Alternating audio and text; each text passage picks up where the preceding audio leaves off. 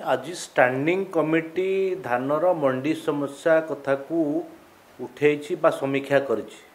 କିନ୍ତୁ ଏଇଟା ରାଜ୍ୟରେ ଏକ ନିୟମିତ ସମସ୍ୟା। ଆପଣ ପ୍ରତିବର୍ଷ ଦେଖିବେ ଏ କଥା ଆସେ ଏବଂ ଭାରତୀୟ ଜନତା ପାର୍ଟି ସବୁବେଳେ ଏଇ ମଣ୍ଡି ସମସ୍ୟାକୁ ନେଇକରି ଆନ୍ଦୋଳନ କରିଛି। ମଣ୍ଡି ସମସ୍ୟାକୁ ନେଇକରି ଆମେ ବିଧାନସଭାଠୁ ଆରମ୍ଭ କରିକି ଆମେ ମଣ୍ଡି ପର୍ଯ୍ୟନ୍ତ ମଧ୍ୟ ଏ କଥାକୁ ଆନ୍ଦୋଳନ କରିଛୁ। କିନ୍ତୁ ମଣ୍ଡିର ସମସ୍ୟାର ସମାଧାନ ହେଇପାରିଲା ନାହିଁ। ଏବଂ ମଣ୍ଡି ସମସ୍ୟା ସବୁବେଳେ ରହିଛି। ଗୋଟେ ପଟେ ପ୍ରଧାନମନ୍ତ୍ରୀ ମୋଦିଙ୍କ ସରକାର ନିୟମିତ ଭାବରେ ପ୍ରତିବର୍ଷ ଧାନ ଏବଂ ଶସ୍ୟଜାତ ଦ୍ରବ୍ୟର ଏମ୍ ଏସ୍ ପି ବୃଦ୍ଧି କରୁଥିବା ବେଳେ ଏଇ ରାଜ୍ୟ ସରକାରଙ୍କର ଯେଉଁ ମଣ୍ଡି ମାନେ ଅବ୍ୟବସ୍ଥା ଏବଂ କୁପରିଚାଳନା ଏବଂ ଏଠି ଉଦ୍ଦେଶ୍ୟମୂଳକ ଭାବରେ ମିଲରମାନଙ୍କୁ ଫାଇଦା ଦେବା ପାଇଁ ଏବଂ ତାର ବଦଳରେ ପିସି ନିଜେ ସଂଗ୍ରହ କରିବା ପାଇଁ ବିଜୁ ଜନତା ଦଳ ଏଠି ସବୁବେଳେ ଏ ମଣ୍ଡି ସମସ୍ୟା ରହିଛି ଏବଂ ଯେଉଁଥିପାଇଁ କି ଚାଷୀ ହିଁ ଉପକୃତ ହେବା ପରିବର୍ତ୍ତେ ଯେଉଁ ଏମ୍ଏସ୍ପିରେ ଉପକୃତ ହେବା ପରିବର୍ତ୍ତେ ମଣ୍ଡି ସମସ୍ୟା କାରଣରୁ ଯାହା ଧାନର ଅଭାବୀ ବିକ୍ରି ହେଉଛି।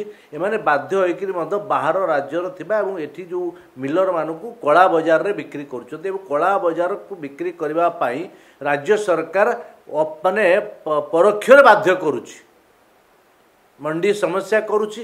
ତ ମଣ୍ଡିରେ ମୁଁ ଆପଣଙ୍କୁ କହିଦେବା ପାଇଁ ଚାହୁଁଛି କେନ୍ଦ୍ର ସରକାର ଗୋଟେ ସୁତୁଲି ଅଖା ଏବଂ ସୁତୁଲିଠୁ ଆରମ୍ଭ କରିକିରି ସେଠି ଗୋଟେ ଟେଣ୍ଟଟା ହେବ ଚାଷୀ ଭାଇମାନଙ୍କୁ ପାଣି ବି ଯୋଗାଇ ଦିଆଯିବ। ଏ ସମସ୍ତ କଥା ପାଇଁ ବ୍ୟବସ୍ଥା କରିବା ପାଇଁ ତା'ର ଅର୍ଥ ଯୋଗାଇ ଦେବା ପାଇଁ ଏ ମଣ୍ଡିରେ ବ୍ୟବସ୍ଥା କରିବା ପାଇଁ ଅର୍ଥ ଯୋଗାଉଥିଲା ବେଳେ ଏପଟରେ ମଣ୍ଡିରେ ବ୍ୟାପକ ସମସ୍ୟା ସେଠିରେ କୌଣସି ରାଜ୍ୟ ସରକାରଙ୍କ ଅଧିକାରୀ ଯାଉନାହାନ୍ତି। ସେଠି ମାଲିକାନା ମାଲିକ ସାରିଛନ୍ତି କିଏ ନା ମିଲର ମାଲିକମାନେ।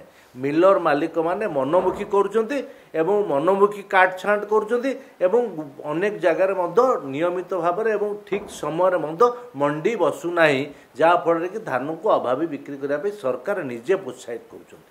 ଦେଖନ୍ତୁ ପ୍ରତ୍ୟେକ କଥାରେ ପ୍ରତ୍ୟେକ ଯୋଜନାରେ ଏବଂ ପ୍ରତ୍ୟେକ ମାନେ ଇଏ ଲୋକ କଲ୍ୟାଣ ଜନକଲ୍ୟାଣ ଯୋଜନାରେ ହିଁ କେନ୍ଦ୍ର ସରକାର ଅର୍ଥ ଯୋଗାଇ ଦିଅନ୍ତି ରାଜ୍ୟ ସରକାରକୁ।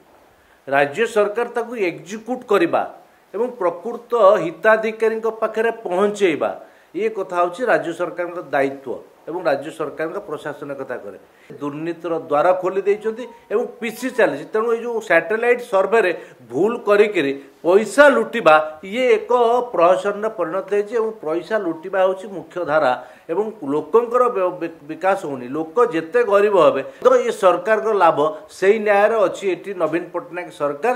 ଲୋକଙ୍କୁ ମାନେ କର୍ମ କୋଢ଼ି କରି ଏବଂ ଲୋକଙ୍କୁ ମାନେ ଖାଲି ଲାଞ୍ଚ ମିଛ ଦେଇକିରି ମିଛ ପ୍ରଚାର କରିକିରି ଲୋକଙ୍କୁ ମାନେ ସମୃଦ୍ଧ କରିବା ଇଏ ନୁହେଁ। କିନ୍ତୁ ଲୋକଙ୍କୁ ଖାଲି ହାତ ଟେକିକିରି କିଛି ଦେବା ପାଇଁ ଇଏ ଯେଉଁଭଳି ଭାବରେ କରୁଛି ତେଣୁ ଯେଉଁ ଯେଉଁ ବ୍ୟବସ୍ଥା ଆସୁଛି କେନ୍ଦ୍ର ସରକାରଙ୍କର ଇଏ ସାଟେଲାଇଟ୍ ସର୍ଭେ ଜରିଆରେ ହେଉ ବା ଇଏ ହେଉ ଇଏ ମିଛ ଇଏ କରିକି ଲୁଟ୍ କରୁଛନ୍ତି। ଏଥିରେ ମଧ୍ୟ ରାଜ୍ୟ ସରକାରଙ୍କର ଅଧିକାରୀଠୁ ଆରମ୍ଭ କରି ରାଜ୍ୟ ସରକାରଙ୍କର ବିଜୁ ଜନତା ଦଳର ନେତା ମନ୍ତ୍ରୀ ସମସ୍ତେ ସଂଶ୍ଳିଷ୍ଟ।